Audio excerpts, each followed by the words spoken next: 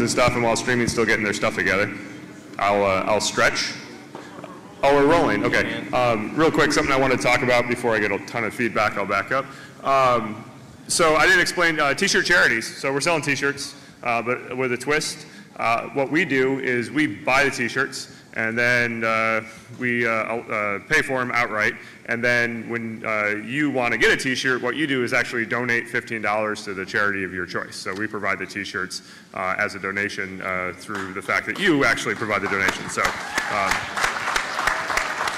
and, and, the way that it works is there's three bins in there. There's a bin for the EFF, a bin for HFC and a bin for Child's Play. Child's Play. And my accountant tells me that we don't sell T-shirts. We don't sell T-shirts. I got to be super clear about the terminology I use. We do not sell T-shirts. Um, uh, you uh, provide the $15. We give you a token. You drop the token uh, into the bin that you.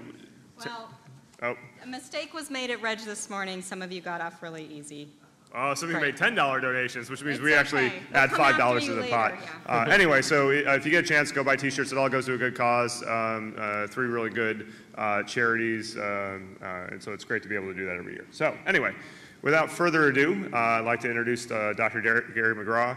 Um, Gary is kind of a foundational person in my career. Uh, early on in my career, a lot of you probably know, um, I went up to Alaska and I spent 10 years up there. I dropped out of school, out of the University of Alaska Fairbanks, and uh, screwed around with some startups and uh, was generally kind of an internet hooligan, uh, not necessarily breaking the law, but not doing anything as productive as I should have. And uh, was working on some open source stuff, and I met Gary at uh, NDSS down in San Diego in 2000. And I was working for a startup that was tail spinning into the ground like many other startups were in the 2000 kind of time frame.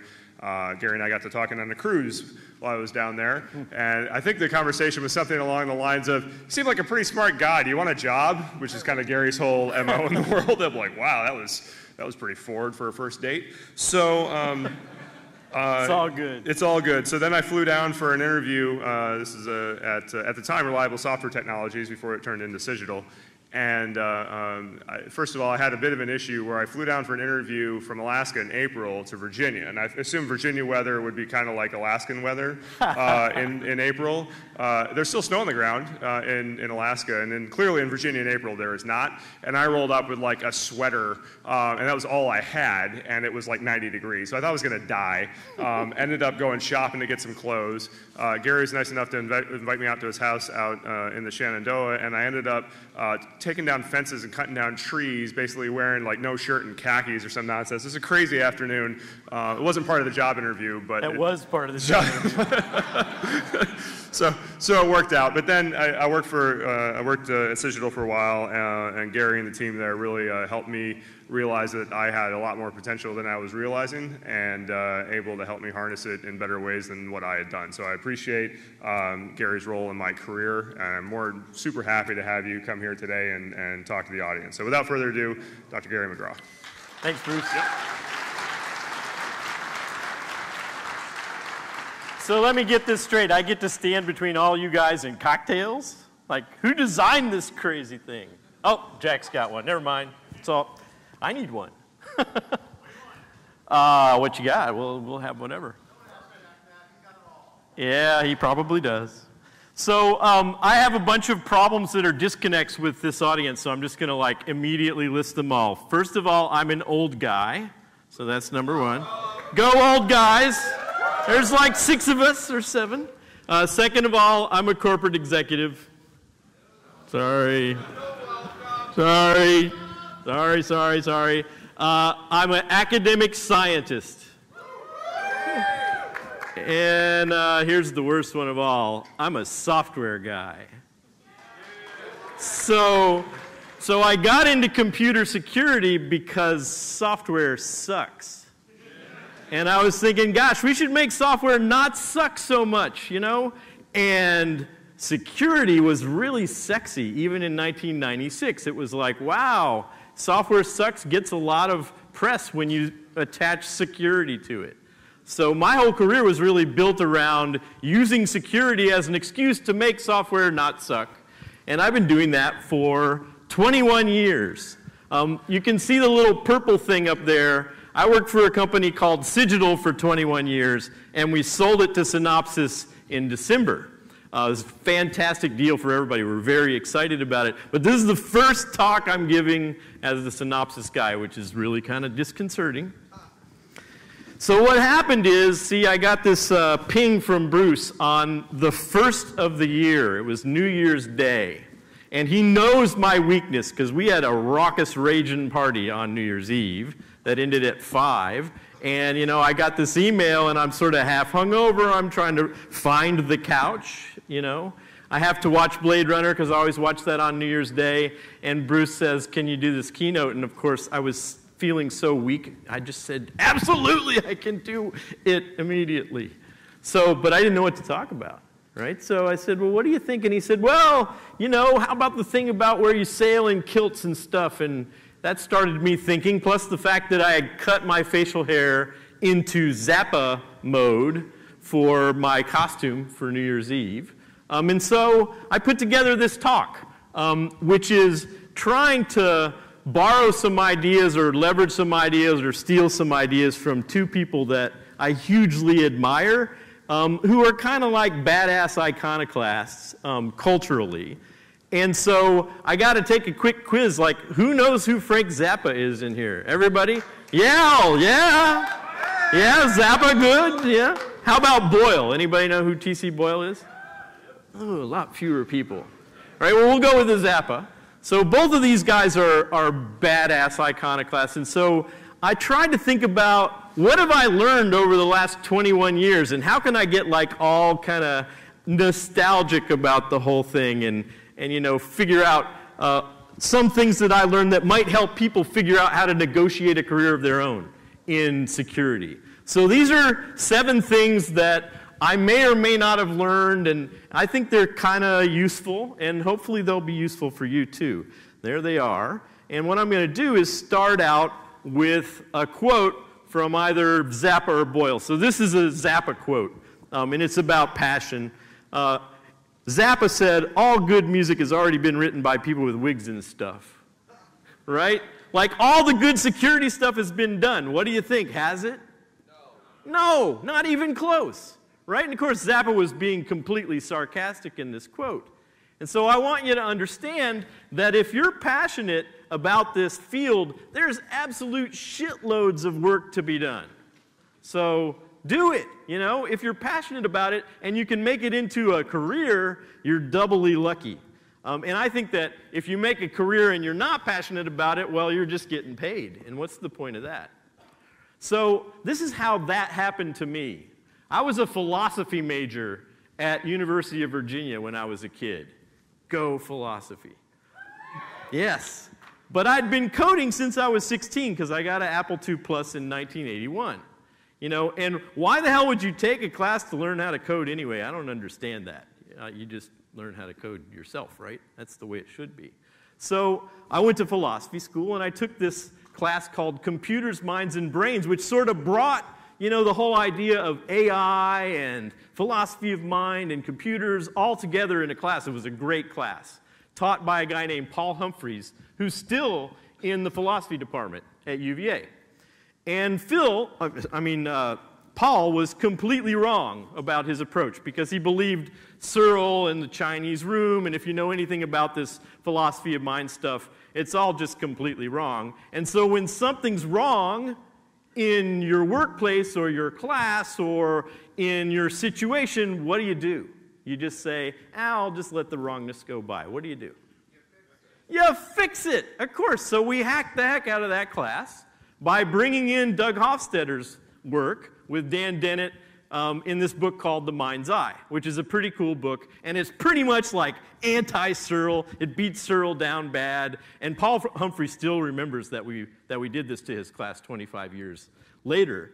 Um, but that really got me started thinking about what happens when you have a slightly different view of a field or a slightly different perception, you know, your own way of looking at stuff. And the answer is don't let other people convince you that that's wrong. I mean, maybe it is wrong, but you need to, you need to work on that idea and find out if it's wrong on your own. Don't just have the system tell you that's, you can't do that or that's wrong um, in intellectual pursuits. So, because of that, I like Doug Hofstadter's work so much that I went to Indiana and I got my PhD in cognitive science with Doug Hofstadter and wrote a really famous AI program called Letter Spirit. And talk about iconoclast. Doug Hofstadter still has so many enemies in old fashioned AI space that they think of him as a total crackpot, right? But actually, he wrote one of the best books ever, Gödel Escher Bach, which is an unbelievably great book. It's a masterpiece. Working with Doug was a huge joy, and that happened because we refactored the class. And you know, it started teaching me that even if your ideas are not being accepted by the mainstream, that's okay, especially if you're right, because Hofstadter's that way to this day. Um, and so, you know, I got hired to, to uh, in my first job out of a PhD school, and I worked for this, I got a job hmm, at this little tiny company called Reliable Software Technologies. There were seven of us. We used to have like Friday meeting. Do you remember Friday meeting, Bob? And we would all sit around the table and everybody would say what they did that week, including the woman who answered the phone. I mean, it was just like everybody. So we all knew what everything was going on in the whole company, like who wrote what code and what bugs were big and like all the way down in the weeds.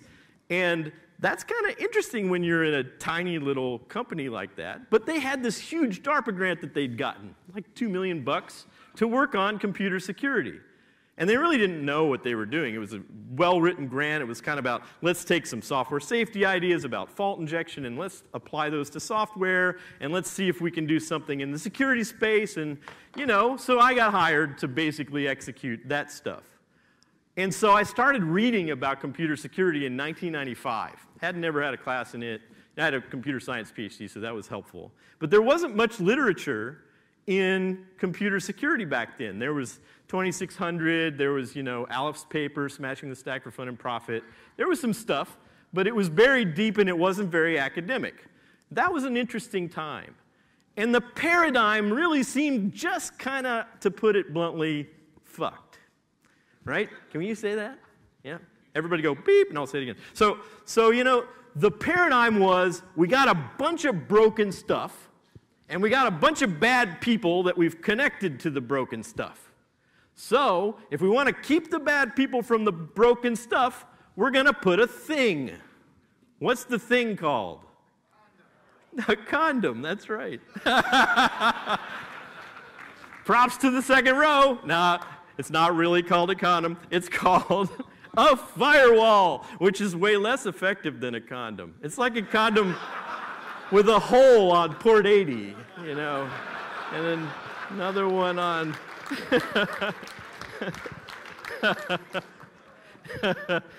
yeah, so, yeah, this is good. I don't think this is going to fly in other audiences, though. so, you know, what that means is you got to build stuff that's not broken. It's like, why is this stuff broken? was an obvious question to ask. And when I asked that question, why is this stuff broken? There really wasn't anywhere to go. The reason I got into that is because Java came out um, in 1995 and we started breaking it. If you remember the people breaking Java, it was Ed Felten and his um, research uh, guys that went on to become academics too, and me. And Ed and I wrote a couple of books about Java security back in the early, early days. I was wondering why Guy Steele, who's the best programming languages guy on earth, and Bill Joy, who basically wrote Berkeley Unix by himself accidentally, right? Screwed it up when it came to security. Like they completely screwed it up. They got a lot of stuff wrong. And the thinking is if the wizards who are way up there on like Mount Olympus of software land get it wrong, what about us normal people who can barely code our way out of a paper bag? What are we supposed to do? Where do you go to learn how not to make broken stuff? And guess how many books there were about that in 1999? Zero. So John Viega and I wrote a book called Building Secure Software based on that very obvious question why is the stuff broken? Now there's tons of information. It's a huge field, probably a $4 billion industry. I have a thousand people in the division of my company doing software security full time. Yeah, a thousand people. It's a big, big thing in an 11,000 person company. So this is, you know, software security has moved from just a, an obvious idea that philosophy wise into a practice that we can actually get some stuff done in. We know that we need to build security in, and we actually know how to build security in, but it was pointing out the obvious and not having people go, oh, that's, you know, not just stopping that was important. It was that passion behind that. I also think, by the way, that passion plays a huge role in tech transfer. When you have something that sort of kind of works and you've got to get it from the lab and even from early stage development across the valley of death over to something that, say, VCs might actually fund, this thing, this research valley of death, that's a real thing. That is basically the job of a person or a small group of people, and it takes a decade. But the cool thing is you can actually do it. So some of the stuff that you worked on, Bob, in you know, the early static analysis work, we actually turned that into the Fortify static analysis tool after a decade and 80 million bucks, right? So it took some doing. It was pretty crappy when we wrote it, and we had to make it actually work. But, but, the, but that kind of that kind of tech transfer only happens when you're just persistent as all hell. And you, you know, if you're right, and you're changing the world and you're persistent and you're passionate about it, the world will eventually come around, I think. So follow your passion. You know, I've seen two versions of this recently in our field that are pretty cool, and one was today.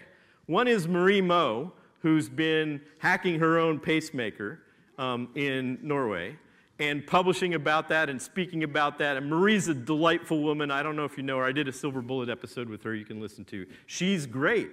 And you know the other person is? The cochlear implant guy who gave his talk here. That is so cool. Like, seriously. The guy's like, How does this work? This thing is important to me. I care about this technology. I want to know how it works, and I want other people to know how it works, and that's what he's doing. That kind of passion is really cool. And there's tons of room for that in the field. Even when it doesn't quite fit your own image of yourself or your brand, I'll give you a personal story about that. You can see that, that book, Exploiting Online Games. Well, I wrote Exploiting Software with Greg Hoglund in 2004, and Greg is a fantastic guy, really good. Kind of self taught, though. So, you know, Greg would bring like all sorts of exploits and interesting ideas and lots of code, and he we would talk about it and we would try to bulldoze it into some semblance of something that actually made sense as a dialogue or a, a story. And we did a great job with exploiting software, I thought. That was a fun book to write. And so Greg came to me and he goes, I'm working on a new thing. It's like, a, it's about games and, you know, these MMORPGs, you can, you can actually, you know, change the state and all this great stuff and you can mine money and you can change the economy and there are all these incredible hacks and you don't even have to be root to do it. And here's the code. He's like, let's write about this. And I'm like, okay, I'm the CTO of this company that sells stuff to banks. And Am I supposed to write a book about online games? And you know what the answer was? Hell yeah, I was supposed to do that. That's right, absolutely right. And in fact, what it turned out was that these MMORPGs were indicative of the cloud, of software as a service, of you know, massively distributed state over time. We haven't even begun to scratch the surface of problems in massively distributed systems with state over time. So there's a huge vein of stuff there, and this book turned out to be really about that. So you can tell I actually still give a damn about software security. I still do. I really care uh, about the field. And I think that there are so many fields like that just waiting to be discovered and turned into something real in our own budding little tiny discipline um, that you know, be passionate about something or find something that you are passionate about and push that, and that'll be really good um, for you and for everybody else. Uh oh, what's my timing? I forgot to press play on my timer. Anybody know? Like 20 minutes? Thanks. Cool. So T plus 20. Um, number two lesson. Nothing happens fast, so you need a good rhythm section. You have to be able to kind of, you know, do this for a long, long time. Um, and what that means is you, you know, this notion that you're going to like change the world tomorrow or you're going to like get rich in 22 seconds flat, that doesn't happen, guys. Uh, Cigital took 21 years. Uh, and we were a 500 person company when we, when we sold it. Um, and we sold it to a bigger thing, and it's a compelling fit. The story is compelling. But it took 21 years to do that. And it took 10 years to take the stuff that actually kind of worked in the lab from static analysis and get that out into the world. So don't be discouraged about the time that it takes, but plan for it. You know, you can't sprint because if you sprint, you'll never get there. You got to repeat yourself an awful lot. You know, there's some talks I gave 200 times the same set of PowerPoint. Wasn't really the same talk. But you know, the meat puppet can just sort of do that on autopilot. You check in and see if the audience is still paying attention, check back out, and eventually the talk is over. This talk's not like that because every slide is surprising me in this talk because I put, put it together yesterday and it's like, oh, yeah, we'll somehow make it work. Uh. Um, other things about that rhythm thing don't be shy, reach out and meet people. ShmooCon is really cool because you guys are a community you people, I'm sorry, are a community of people who are being intentionally kind to each other. That is cool and really accepting, and I think that comes from Heidi and Bruce's own personal philosophy, and it's reflected in this group of people. That's good stuff because the people that you meet in this room, the people that you hit it off with, the people that you learn something with together, those people are going to be on the planet for a long time. So build that network and use that as part of your rhythm too. Um, you know, go to conferences, talk about your work, meet other people, build that network, and collect real data. I've been doing this for my whole career, so I actually have 21 years worth of data about how many trips I took, how many talks I gave, how many keynotes notes there are. You know, in corporate land, they have these annual review things. But I did that for myself beforehand, so there are forms, I think, at my company. I don't really know. I just give them my graphs, and uh, this is what happened last year. What knobs do we twiddle? Seriously, it's, it's, it's an interesting thing. And sometimes we make mistakes twiddling those knobs. For example, I gave a lot of academic talks, and one of the things I like to do is interact with academic computer scientists. So I'd be out in, you know, Palo Alto and go to Stanford, give a talk which is nerve wracking as hell. You go to the best computer science department and give a talk. You better not suck. So, one piece of advice just make up your own field and then they don't know you're wrong. So, that, they, that, that, that works pretty well. But, you know, the, the, when, when, when you do this a lot, um, you can, and you collect data and you can start twiddling knobs on yourself, you can develop that rhythm in an intentional way and not an accidental way. So develop a rhythm doesn't mean slow down, it means a rhythm, right? So for example, this idea of academic talks, well, I did about 80 a year. And we decided that at the stage we were in the company, we should turn that down to zero. So we did. And about six months later, HR was like, uh, we didn't have any college recruiting this year. You know, where are the new, new employees coming from? And we went, oh shit that knob is too low. We better turn that knob back to some other level that's not zero. And that was, we didn't know. We knew there was a knob, we knew there was that, but we didn't know all the effects of that. When you track your data over time and you find your rhythm, you can do that in an intentional way, and that's good. So, for example, there's this, you know, Silver Bullet podcast I've been doing for 10 years now, every month, never missed a month, 129 episodes. Uh, and I'm really proud of it, but the reason it's good is because the people that are the guests. Now, there's a lot of prep that goes into each episode, but, you know, the guests are great and they're talking about their own work, and it's a natural conversation. The thing that makes it a success, though, is that it drops every month, usually right at the edge of the month, like right before the month ends, sometimes because procrastination. Um, but, you know, but that consistency really matters. So realize that you're not going to get rich quick. Realize that finding a rhythm to run a long way is important. Realize that sharing your ideas is part of that rhythm and expect to work on the same thing for a decade or decades. And it'll work. It actually works. You know, changing the world um, takes time. Of course, many minds are better than one. All the minds in this room are better than any individual mind. And if you build your network, you can reach out to people and ask for help, or vice versa. You know, when Bruce said, Can you do this thing, I, I, please? I always said yes, because it's friends. You know, you do that thing for, for friends. And th- that, that, I think, you get what you give. It comes both ways. Uh, and that's part of this idea of uh, building a network and sharing stuff. So I also think there's another piece of that which is super important. You can't really protect your ideas too much. I love the Creative Commons idea.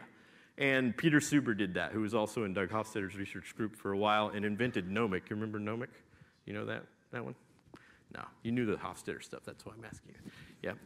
Anyway, that the, the notion of putting stuff out in the world that everybody can use and anybody can use and they can pick up and adjust and the data is all published is an important notion. And I think that that kind of fits the shmoocon sensibility. So, you know, that's a good thing. Share your ideas that way. Number three, practice and then practice and then practice and then practice. I was a violin kid, did Suzuki when I was three, all the way up to now. I still play the violin, so it's been 47 years of violin.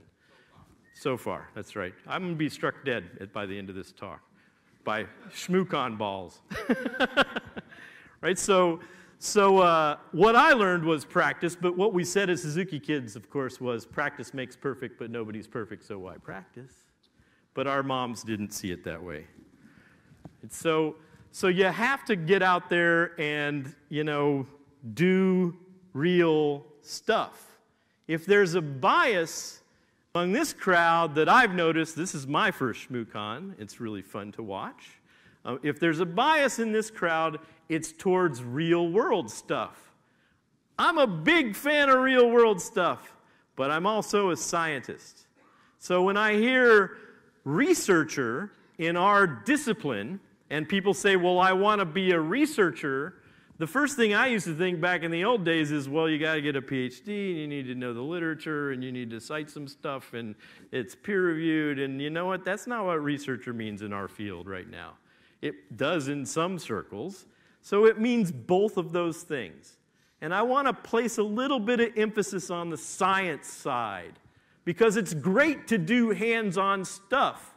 But it's also great to leverage the hands on stuff that other people have done in the past in a disciplined and principled way. That's what academic science gives us. Now, academia can go off and do some crazy shit that does not matter, right? So, yay! and there's this balance, you know, so you don't want to just be talking about how many angels fit on the head of a pin and you don't want to just be talking about, well, you know, I, uh, whatever, I, I stuck my finger in the electric socket and something happened. So, so, you, so you, need to, you need to balance those things out. And, and I would encourage this group especially to look into the science thing. Learning how stuff breaks is hugely helpful and how stuff really works, but don't shy away from science. So, hands on work good, science good too. Ultimately, you know, do both of those things. And that's part of what practice is. From my own discipline, software security, you know, it's really clear, and the reason I have this silly little logo is to make this abundantly in your face clear that we have to both break stuff and build stuff. And I've spent just as much time on the break it side of the house as I have build it. And in fact, I believe myself firmly that if you don't know how to break stuff, You'll never build stuff that can't be broken, so you got to know how it breaks. We have to do that kind of work. But that kind of work is a hell of a lot easier than security engineering, the building part, in my view. Now, I'm happy to, you know, over 18 cocktails have a, have a discussion about this. There are some people who disagree with me um, about that stance, but that's what I actually believe. I think that we need to do the breaking part but the breaking part's actually easier than the building part. The good news is, if you're a really good breaker, you have a chance in hell of becoming a good builder. If you're not even sure how stuff breaks, forget it. You're not going to be building systems that don't break because you don't know what that means really in a tangible fashion. So we have to emphasize both of those things in our field. Both the I broke it, isn't that delightful and fun, and I understand how it works because kind of like we do physics, I smashed it into little pieces and looked at all the pieces and came up with a theory, you know, but also you have to say sometimes we need systems that actually are less breakable than that. So wh- what do I do to, to build a system to be more secure? You know, so the white hat, black hat thing is all about that. That's why the yin yang logo thing. There's a little sticker in the pile of loot that you have that's that yin yang sticker. That's my own personal little thing that I stuck on the front of software security. And when I was thinking about the black hat, white hat, yin yang thing, I was actually building it on my kitchen table one day, doing the cover for that book, Software Security, which came out in 2006. And my wife came over and she said, What are you doing? I said, well, you know, black hat, white hat, kind of like yin yang, you know, eastern, western, you know, mixing, like, yeah. And she said, my God, that's geeky. and then I was like, double yeah. Wife says too geeky, that means perfect geekiness level, right? So, because my wife's not really a geek. Um, there are many that are, but mine's not one. So, so that's kind of where that came from.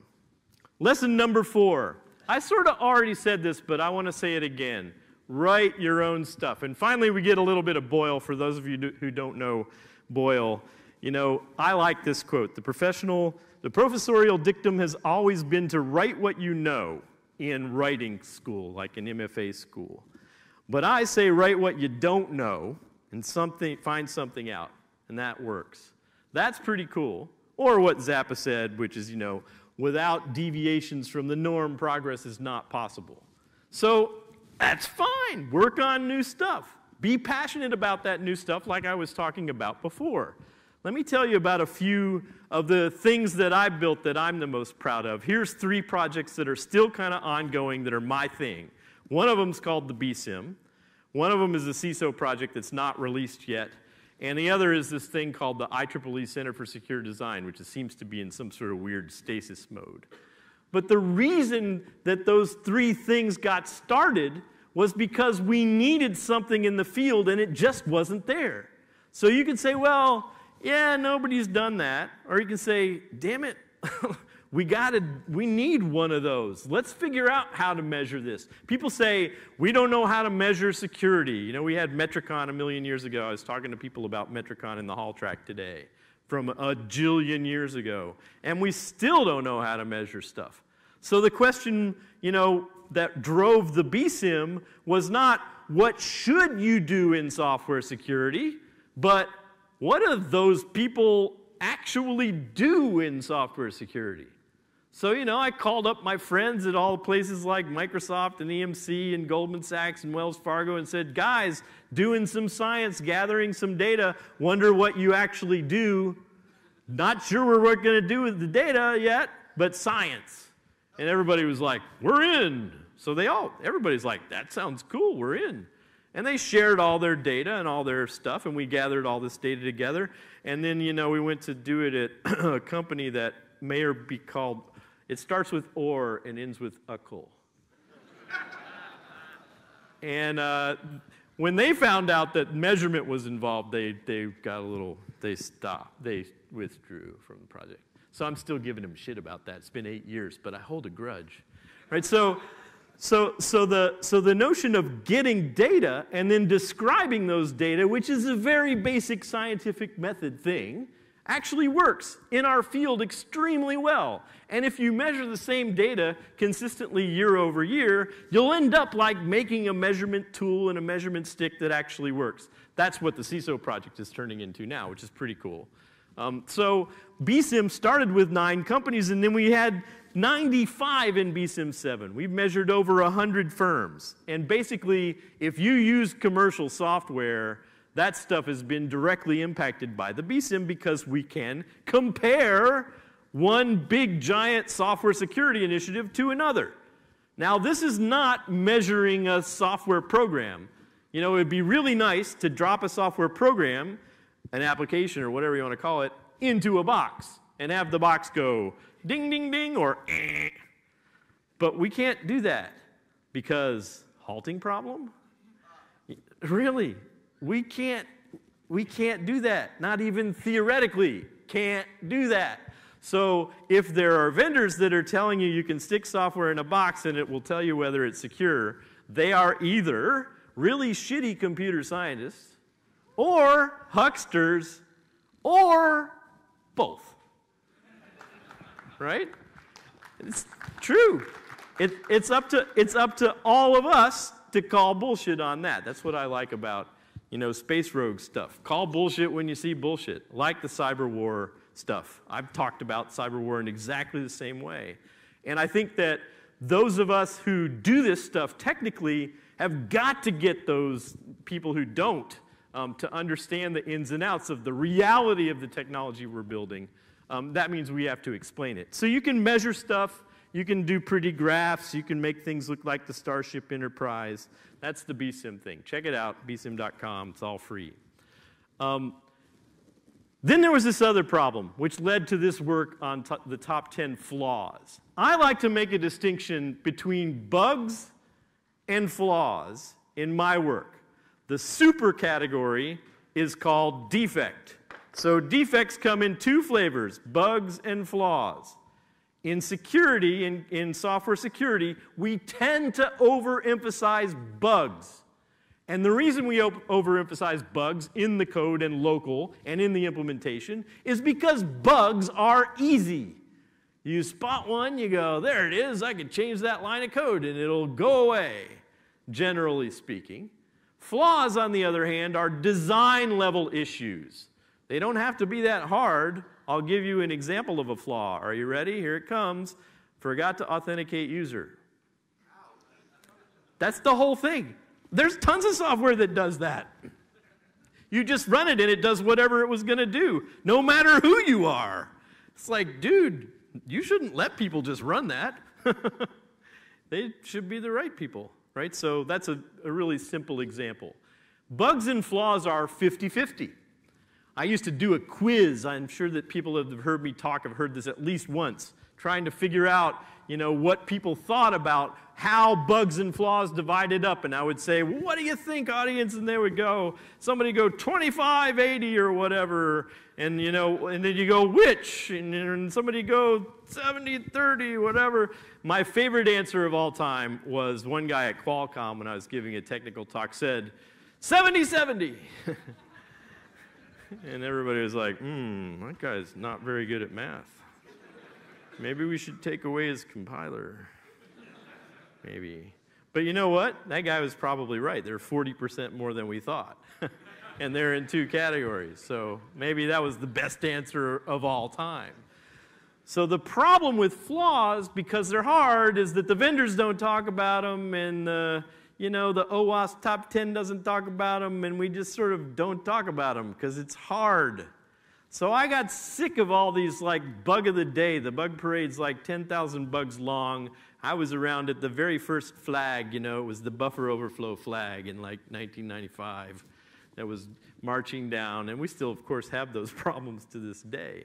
But, you know, the flaws thing never had the equivalent situation happen. So, what do you do when you know there should be a list of flaws for people to understand what they are, and there isn't one? I just called up my friends and said, guys, to so- software security architects, gonna do flaws work. So we're gonna have a workshop. There will be free booze, and we'll put you up, right? Made the IEEE pay for all this crap. That was just awesome. And and uh, the price of admission is real flaws. And here's the best part. Didn't say here's an example of a flaw. Just said bring flaws. So we got together with you know 15 people and we dumped the flaws out on the floor. And that, this was real stuff. It was, you know, stuff in Intel, stuff in the Twitter pile, stuff, academic stuff, like stuff that we had in our collection at Cigital. It's a big pile of flaws. And we arranged them all and said, which pile's the biggest? And how do we describe what this flaw is like to people? And we decided that telling people about a problem is not as good as telling them how to try to solve the problem. And so we wrote it up as how to avoid these things. That work is free under the Creative Commons too. So if you worry about design in your own work when you're breaking systems, by all means download that and look at it because it's just as important as all the other bug stuff. The last little project that I'm working on still now is a CISO project. You know, I started out as a research scientist, totally in the weeds, doing lots of researchy, weedy stuff. And I ended up sitting in boardrooms talking to people that control corporations that have, you know, 380,000 employees, say? Is that how many? Plus or minus? A bunch of employees, more than three, right? Uh, about how to move entire armies to do software security. So, when it came time to do strategy at Cigital, we were thinking, what else should we do besides this software security stuff? We kind of have this market sewn up. Like, you know, not that it's not growing, it's still growing, but what else should we do? The engineering approach to that problem is, well, let's just see what's close by. We'll do some of that too, and a little bit of that. We'll just sort of expand in an obvious fashion. The other way to do that is let's just go to the CISO. Let's find out what CISOs actually do, and let's see if you even see software security from the CISO seat. You know what, guys? The answer is not really. It's sort of down there somewhere. But until I went out and did that gathering of the data about what actual CISOs do all day, you know, there was nowhere to look. And talk about bullshit. You know, there's a lot of bullshit in cyber war. Cyber, I said it. Oops, sorry, Bruce. Sorry, sorry, sorry. Didn't mean to say it. But I did say cyber war and bullshit in the same sentence, so that's good. Right? So, so there's a lot of BS there. But there's even more BS in what a CISO thinks like and what they do. My God, the stuff those people write down is just absolute drivel. Written by marketing people who aren't CISOs, have never met a CISO, and don't even know what CISOs do. But they made up some compelling nonsense. So, the way you cut through that in the world is you gather real data and you build a description of that. That's what the CISO project is about and we're going to publish that soon enough. I'm trying to get enough data. So, writing your own music is good. When you find a problem that's not solved, don't let that stop you. Just solve the damn problem and then share it and help other people figure that out too. Or you could just write original music. That's actually me playing the fiddle in one of my bands. Because I still play the violin, but now we write original music. Number five, there is so much information in this world that we live in that it is very hard to remain calm.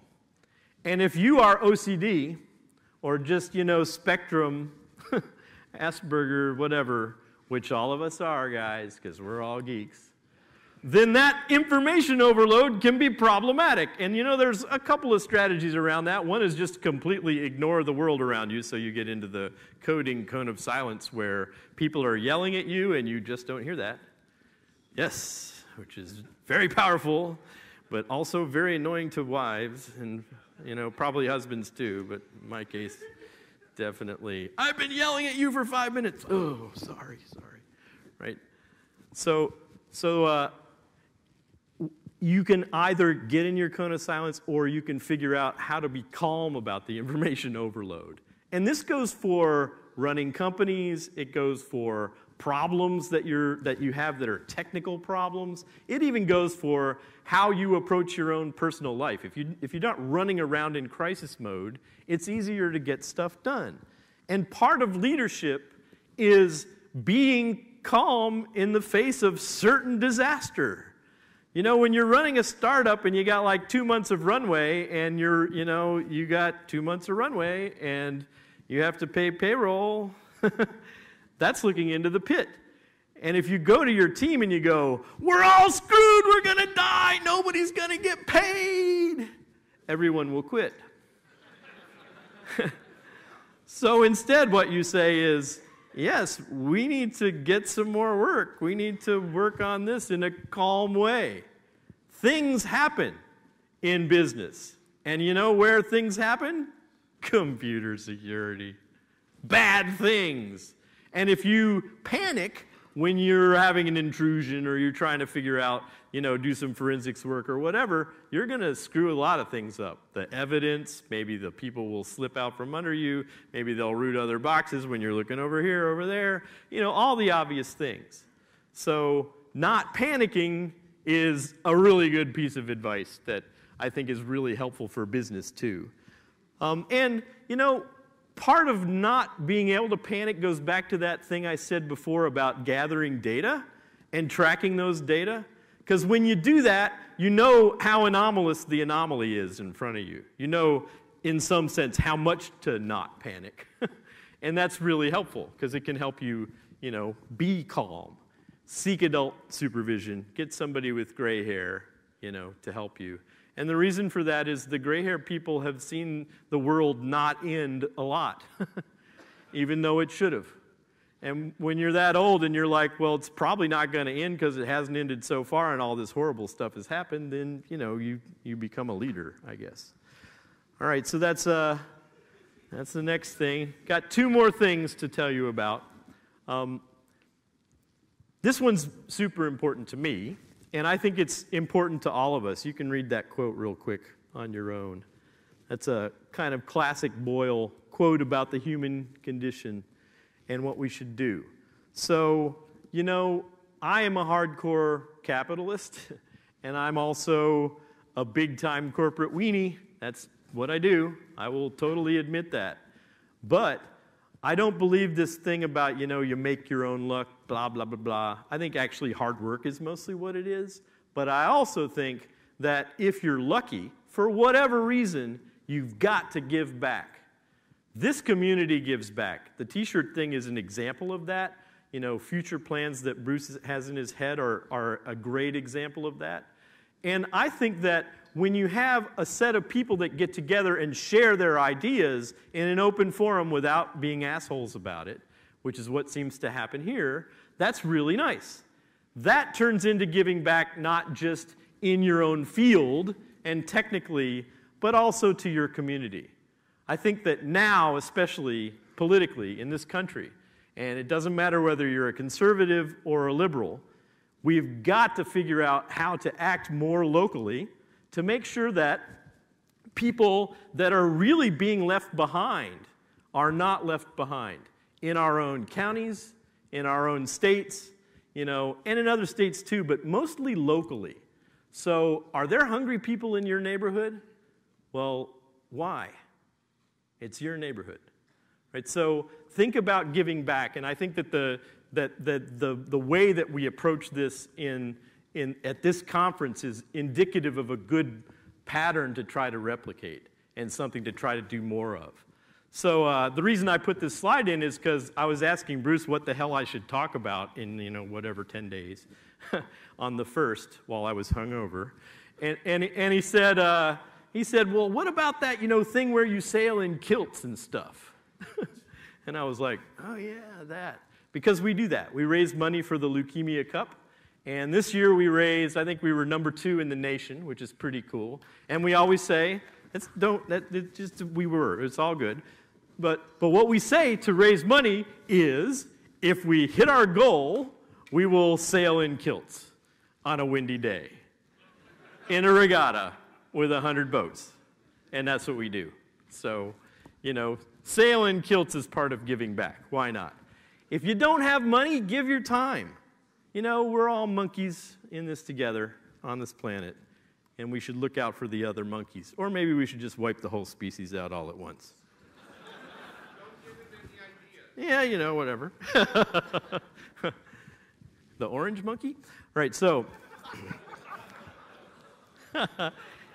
Sorry, I, I tried to be good. I tried. The last thing is know your audience. This was difficult for me this time because I have watched ShmooCon grow from an idea to this gigantic thing, but I haven't participated in it, so I don't really know the audience. So I actually asked Bruce a lot about, like, well, who comes and what do they think like and how does that work to try to craft this talk. Um, and so I want to say thanks to you guys for the opportunity for doing that. And I want to give some shout outs. So there are 200 or so students that are being supported by what's the student thing called? What? Schmooze student. That is so cool. So, you students, rock on. That's good. Learn some stuff. I hope they're still here. To the breaker people in the audience, here's a challenge learn to build some stuff too. I dare you. Okay? And then to the compliance people in the audience, security is way more than attestation, so just whatever. I'm done. Thanks very much.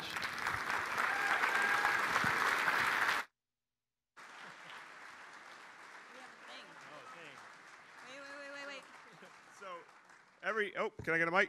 So every year we uh, uh, we give a prize uh, or a gift, I guess, to the the keynote speaker, and I have to do a little explaining. So you've given a lot of keynotes, you graphed your keynotes, you've charted all this stuff, and, and they give you like a plaque or a piece of paper, and eventually you, you have a drawer full of pieces of paper. Um, well, the thing is, when you give a person a giant stuffed moose head, this shit doesn't fit in a drawer, right? like. You've got to hang this on a wall because there's no other way to deal with it. So there's your stuff, Moosehead. We really appreciate you. Thank you, Gary. Really appreciate it. Okay, one um, last quick announcement. Uh, if you are playing War Caller's game with the little dope scopes and have them, could you return them to them for the evening? Okay, uh, dope, dope scopes, yes? The little things people have been looking through. So, cool. Give them back. And then Fire Talk starts in here in 10 minutes? Thanks 20 minutes? again, Anyway, Half an hour. half an hour. So thanks very much. Go get some food and come enjoy Fire Talks. I heard good things. It was. It was good. This is the first keynote I stuck around for. Cool. Well, that's good.